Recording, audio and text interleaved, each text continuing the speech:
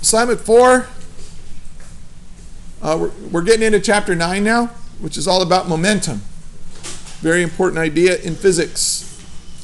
So, read these two sections uh, examples 1, 2, and 4, questions 1 and 3, and then problems 1, 5, 7, 9, and 11. Now, what I'd like to do today is I want to re- review a couple of ideas that we're going to need uh, Newton's second law and Newton's third law. Then we're going to define what linear momentum is and what we mean by conservation of momentum. And then we're going to develop uh, the idea of impulse. Uh, what is impulse and how does that relate to momentum? So that's kind of the goal today. That's what we're going to do. So let's talk about. Do a little bit of review. Okay. Um,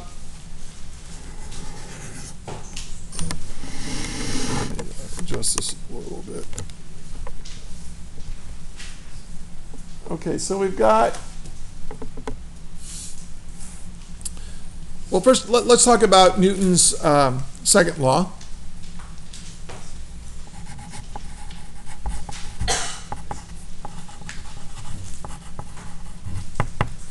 I told you earlier in the year that Newton's second law is basically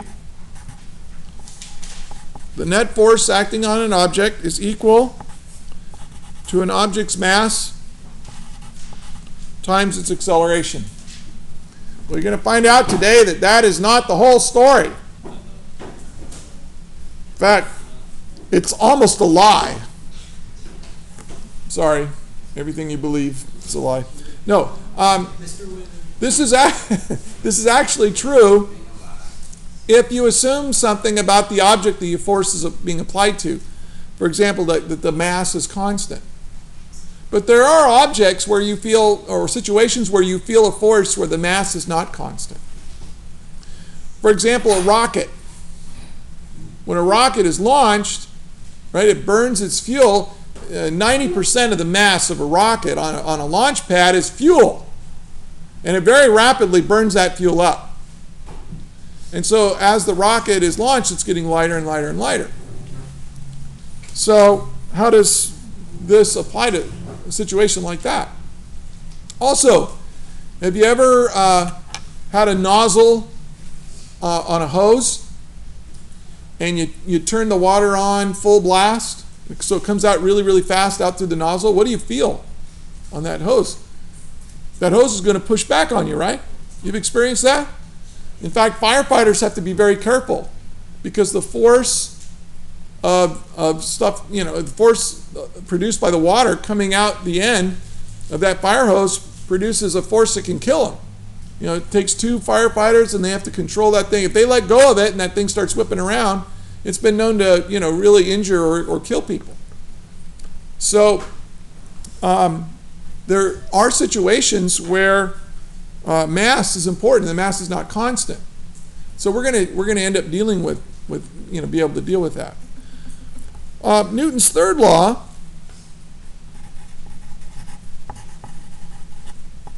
okay, basically uh, says that, it, that a, for, a force is an interaction between two different objects. And those interactions um, are, you know, are equal and opposite. Equal in magnitude, but opposite in direction. Now, for example, and we haven't talked about gravity uh, you know, a, you know, planets and stars yet, but you know, if you see you have an object like this, and this could be a, a planet, and maybe over here is the moon of that planet, this is object one, and this is object two. There's a gravitational attractive force between them, but that force is equal and opposite. So we have the force of object 2 on object 1. Well, that's going to be equal and opposite to the force of object, um, the force of object 1 on 2.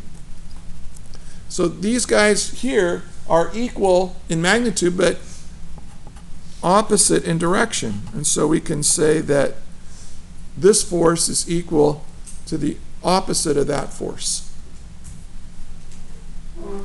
And this is true for all forces in the universe. We've never seen an exception to, to the third law. If you have a force on one object, on some other object somewhere else, you've got to have an equal and opposite force, whether they're in contact or not. These could be two, uh, like two balloons that have a static electric charge on them, and we're going to talk about that second semester. And um, this could have a you know a positive charge, and this could have a negative charge, and they're going to attract each other. But that attractive force will be equal and opposite. So we're going to use these two ideas now um, to define momentum. So let me redraw uh, these two objects since I'm going to move up here. So here's object 1 and object 2. And let's say either through gravity or, or some, some kind of force, they're applying they're applying forces to each other. Well, I just said that the, um, the force of 2 on 1 is equal but the opposite direction of the force of 1 on 2.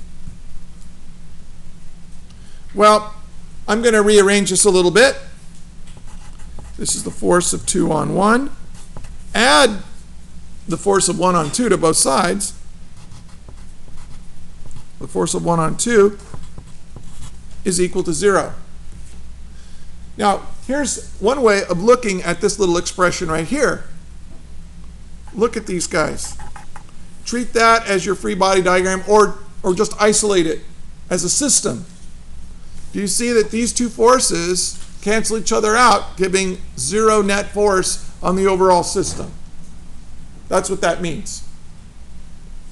But if you look at, uh, if you treat this as an individual system, this is the net force acting on object 1.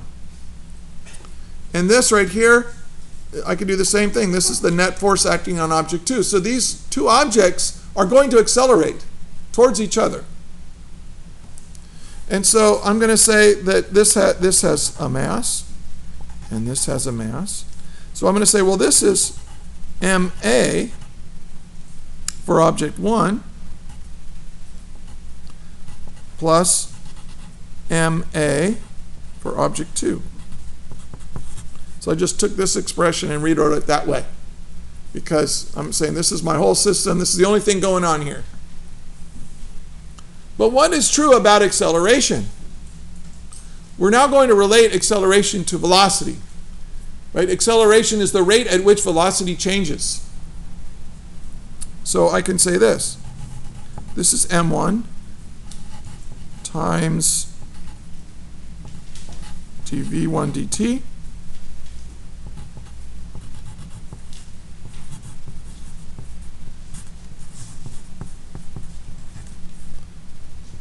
Okay? Well, um, because, you know, this uh, dv dt is what defines acceleration. Well, there's no reason to keep the m out here.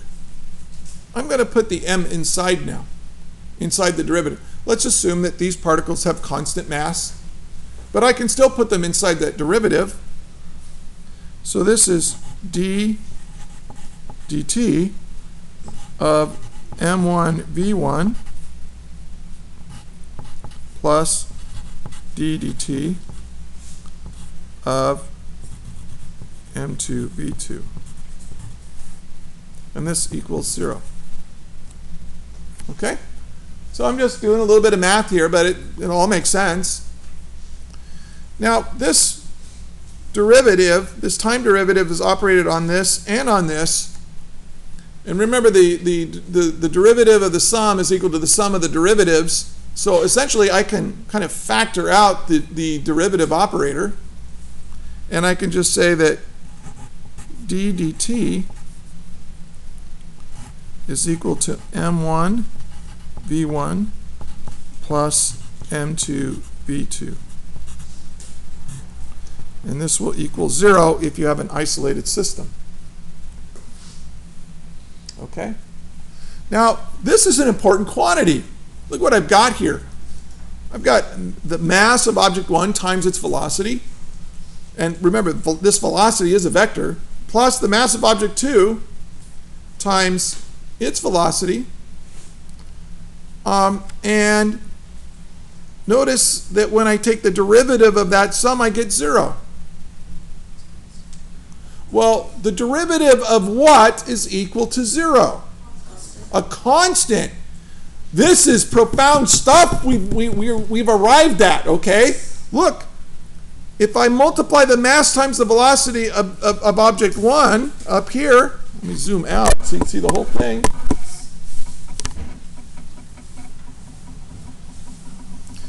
If I take, you know, the, the mass times the velocity of this object plus the mass times the velocity of this, of this object, that sum is going to be a constant if this is an isolated system.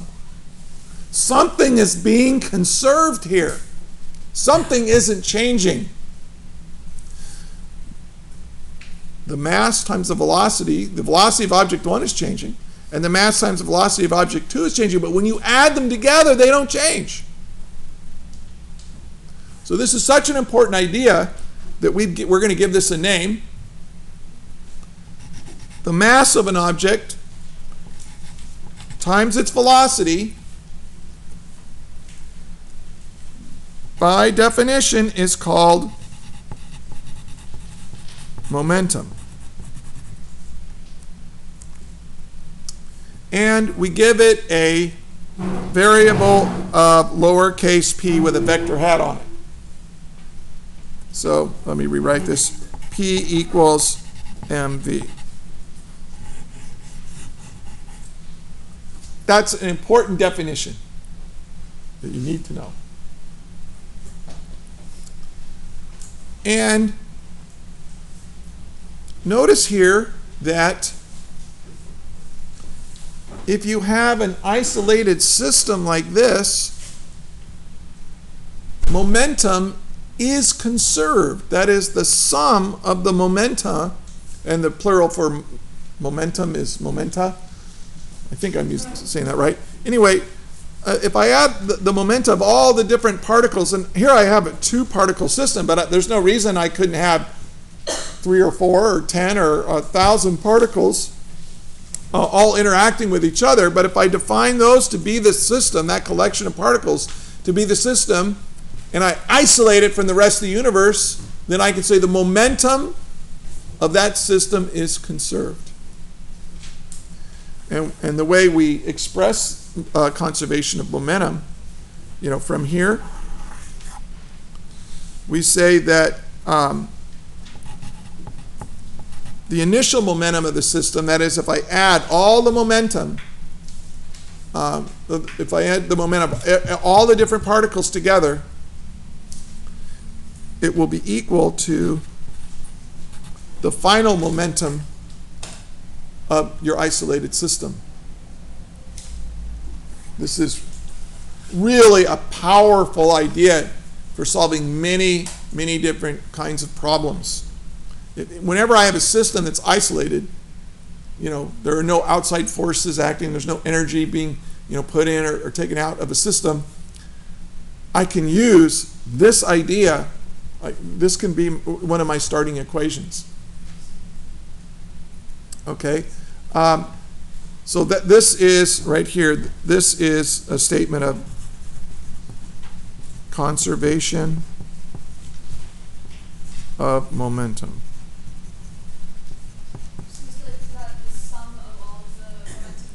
Yes.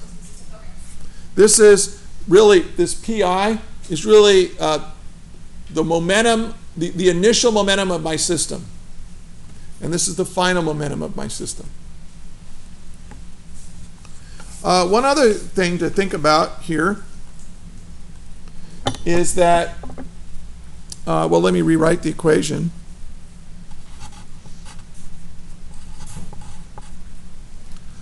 Of m1 v1 plus m2 v2 equals 0. Well, let's operate the derivative back to it. Um, Or let's just take a look at d dt of m1 v1. This is, we said before, um, this is the net force acting on object 1. Remember that the mass is constant, right? The mass of object 1 we said was constant. So we can put the m out here and then operate the derivative on, on v and you get a. So that's where the net force equals ma. But that's not how Newton expressed um, the net force. He said, and it's, this, is, this is the complete description of Newton's second law here the net force acting on an object is equal to the derivative of the object's momentum. This is Newton's second law. The net force on an object will be equal to the rate at which I change the momentum of that object. So think of this a net force, obviously, it makes an object accelerate. And if you think about the mass of an object, okay, then if the mass of an object is constant, then yeah, we're causing that object to accelerate. But let's take a look at what this what this means uh, here. If we say, oh well, this is ddt of m times v. Well, this is a product now, right? Mass times velocity. What if you had a system where the mass is changing at a certain rate? Well, the mass isn't constant. Well, I'd have to use the product rule, wouldn't I? So the net force is equal to the first times the derivative of the second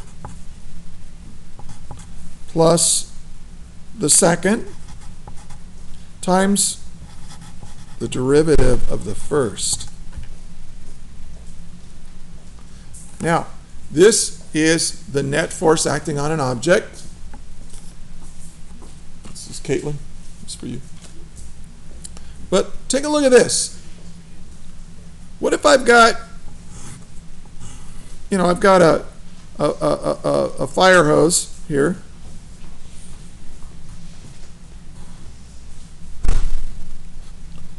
Okay, and this fire hose has lots and lots of water coming out of it at a high rate. Now, think about this situation. In this situation, there's no change in velocity, is there? I mean, the water's coming through here, and it just leaves out this velocity as a certain velocity, v. But what, it, what do you have? You have a rate of mass coming out of there. So that force of a fire hose that pushes back on you, here's what it's equal to. It's equal to the velocity of the water coming out of the hose times the rate at which mass comes out of that hose. Kilograms per second. Okay, so it's um, uh, that will be your force. So there are many situations where, uh, not that many actually, but there's a few situations where, um, you know, now uh, where this term is a, is a factor in your calculations. Now, what if the mass is constant? What if you have a situation, you, you, you're applying a force to an object and its mass isn't changing while you apply that net force? If the mass is constant, what is dm dt? It's zero. And so you have mass times dv dt, which is m times a. So the net force equals mass times acceleration. And that's how we usually express Newton's second law. But it's really only true if the mass is a constant. You also have this other term. What if the mass is changing at a certain rate? You're going to get a force due to that. Do that. And this is not that intuitive.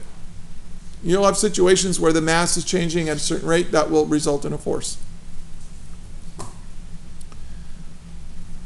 Okay, what I'd like you to do now is use this idea of conservation of momentum. Let's get back to conservation of momentum. P initial equals P final. And I would like you to solve, or to, to do uh, the first example problem on page 255. So please do E1 on page 255.